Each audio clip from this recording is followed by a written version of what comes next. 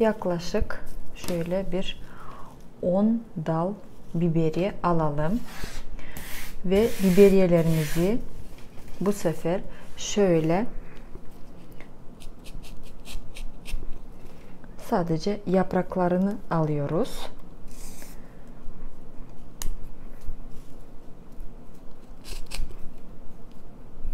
Şöyle ters sıyırdığımızda yapraklar kolaylıkla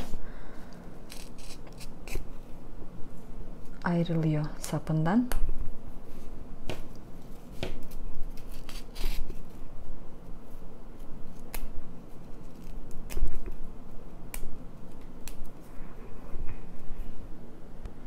Biberiyelerimizi bir cam kavanoza yerleştiriyoruz. Bu arada biberiye gerçekten kokusu da çok güzeldir. Biberiyenin yemeklerde mutlaka kullanalım, salatalarda mutlaka kullanalım. Çok ama çok faydalı bir bitkidir arkadaşlar. Evet yerleştirdim şöyle bir cam kavanoza. Ve arkadaşlar bu bizim en sevdiğimiz şifalı bitki defne yaprağı. Kurutulmuş defne yaprağından alıyoruz. Yaklaşık 10 yaprak ve alıp baharat öğütücümüzde öğütüp ufak ufak hale getiriyoruz arkadaşlar.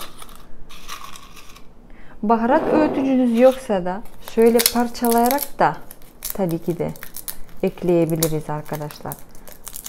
Şöyle ufak ufak parçalarız, ekleriz. Böyle de olur. Ben öğütücüden öğütmeyi tercih ediyorum.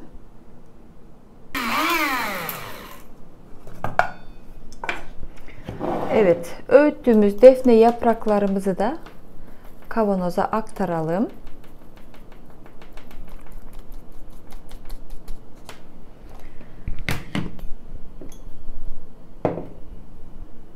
Ve tam tamına 200 mililitre arkadaşlar sızma zeytinyağı ekliyorum.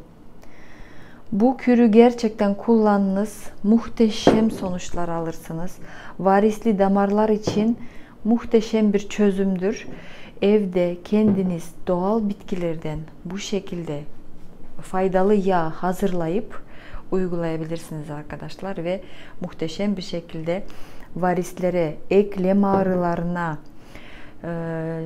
çok faydalıdır. Aynı zamanda da yüksek derecede antioksidan ve antibakteriyel bir yağ olacaktır.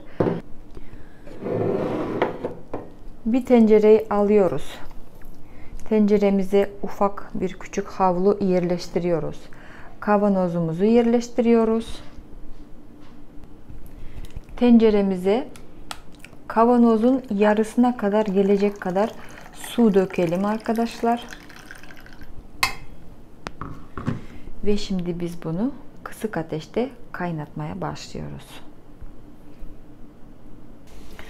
Evet arkadaşlar tenceremizi ocağa koyalım ve e, suyunu yarım saat çok kısık ateşte kaynatalım arkadaşlar.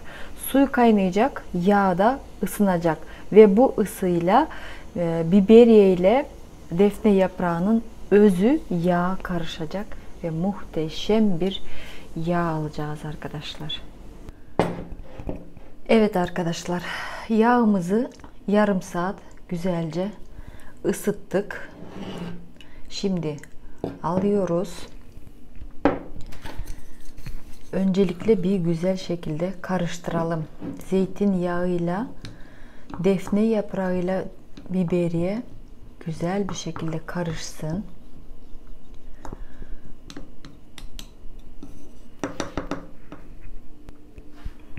Kavanozun kapağını kapatalım.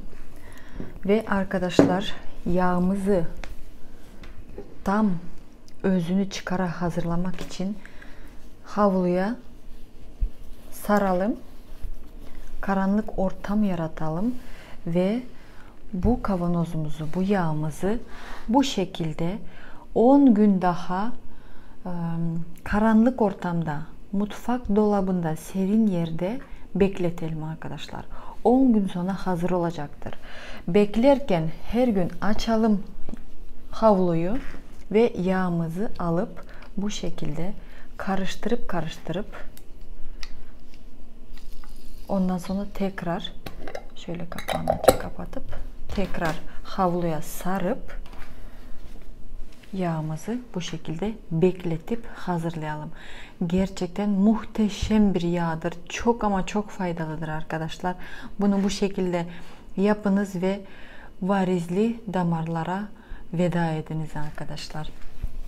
Şimdi de gelelim gelelim kullanımına. Şimdi 10 gün tuttuktan sonra karanlık serin ortamda yağımızı alıyoruz ve kullanmasına geçiyoruz. Tabii ki de yağımızı bir süzgeç yardımıyla süzüp alacağız ve sadece sıvı yağ oluşacak arkadaşlar. O oluşan sıvı yağı süzüp aldıktan sonra e, yine karanlık ortamda serin mutfak dolabında bekletebiliriz, saklayabiliriz arkadaşlar. Raf ömrü bir seneye kadar saklayabiliriz bu yağımızı ve kullanırken de arkadaşlar alalım yağımızdan kemik eklemlerine sürelim, uygulayalım. Yağ zaten çok hafiflenmiş bir yağ olacaktır ve hemen sinip gidecektir. Kemik eklemlerine, diz ağrılarına çok iyi gelir. Ayaklarımıza, omuzlarımıza, dirseklerimize, bütün eklemlere uygulayalım ve aynı zamanda da arkadaşlar varis oluşan yerlere, varisli damarlara da bu yağı uygulayalım. Bir günde bir defa olarak bu arada yağın kokusu muhteşem bir koku oldu. Defne yaprağı da güzel kokusunu veriyor ve biberiye de muhteşem bir e, kokusu var yatıştırıcı, sakinleştirici bir yağdır. Evet arkadaşlar bir günde bir defa akşamları uygulayalım bu yağımızı. Cildinizin onarılıp yenilendiğini de fark edersiniz. Hem cilde iyi gelir hem varisli damarlara da iyi gelir. Hem kemik eklemlerin ağrılarına da iyi gelir. Gerçekten muhteşem bir yağ olacaktır. Evet kullanman, e, kullanmasında ne kadar kullanacağımız derseniz istediğiniz kadar kullanabilirsiniz arkadaşlar. Ta varisler, eklemler iyileşene kadar, ağrılar geçene kadar zaten birinci haftada bile fark edersiniz varislerin iyileşmeye başladığında. Damarların duvarlarını güçlendirir bu yağ ve eklem kireçlenmesine de iyi gelir. Eklemlerin çalışmasına, iyi çalışmasına yardımcı olur. Gerçekten muhteşem bir yağdır. Evinizde bulundurun böyle bir şifalı yağ ve hep kullanın arkadaşlar. Evet sorularınızı yine yorumlarda yazabilirsiniz. Sizlerle yeni videolarda görüşmek üzere diyorum. Kendinize iyi bakınız. Bay bay arkadaşlar.